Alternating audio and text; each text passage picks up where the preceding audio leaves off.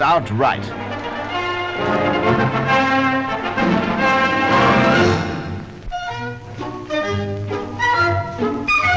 Santa cuts the Christmas cake, and before you can say Happy New Year, all the guests are tucking into the festive fare.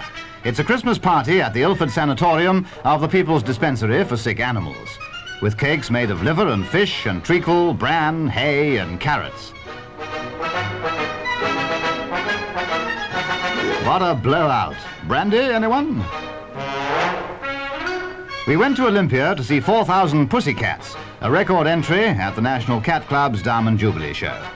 Champion cats of lofty lineage, pedigree pussies of high estate, all so bored with this tedious nonsense, much prefer sitting in front of the grate.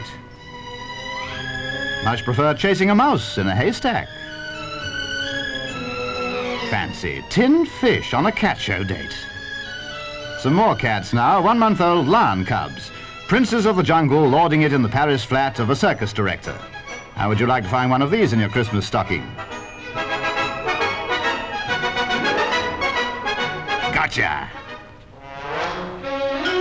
They had to be separated from their mama, so a foster mother's taking care of them. You kids, I don't know where you came from, but all I can say is some mothers do have them.